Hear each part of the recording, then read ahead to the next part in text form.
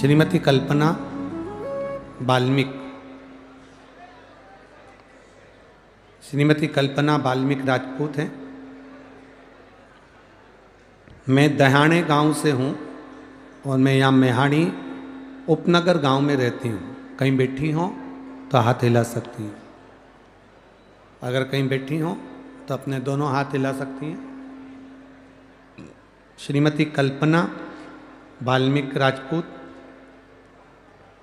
दहाणे गाँव से हूँ और मैं यहाँ मोहाड़ी उपनगर गाँव में रहती हूँ। मेरा मोबाइल नंबर ये है। कहीं बैठी हैं?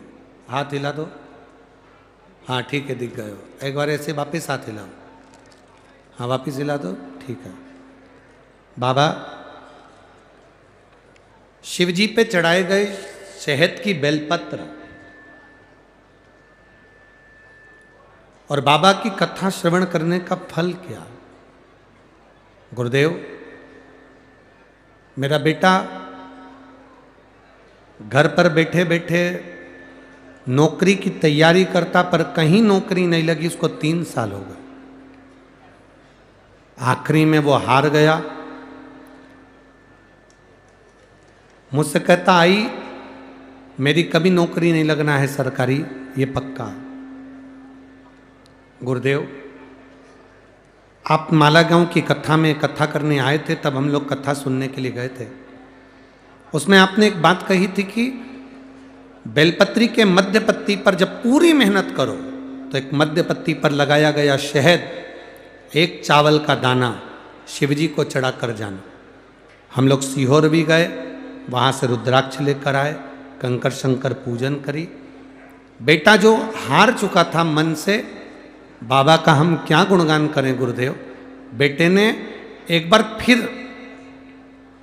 वापिस से सरकारी नौकरी के लिए अप्लाई करा और बाबा की कृपा ऐसी हुई कि अब की बार बाबा ने उसको सिलेक्शन करा दिया और मेरा बेटा भारतीय सेना बीएसएफ में लग गया। मैं बाबा को यहाँ नमन करने आया। गुरुदेव, जैसे बाबा जब देता है तो छप्पर फाड़ कर देता है। गुरुदेव, मुझे अंदाज़ा नहीं था कि बाबा सही में इतना देता है। मेरे एक बेटे को तो बाबा ने सरकारी नौकरी में लगा दिया, पर बाबा ने मुझे कम नहीं दिया। और कृपा मेरे बाबा ने बरसा दी और जो मेरा बाबा ने दूसरी कृपा करी मेरे दूसरे बेटे पर भी, आज बाबा की कृपा इतनी है गुरुदेव कि दुनिया के लोग हँसते थे। पर मेरे बाबा ने जो दिया, मेरे दोनों बच्चों को ही उन्होंने काम से लगा दिया और बाबा की कृपा मुझ पर हुई। मैं बाबा को नमन करने आया हूँ।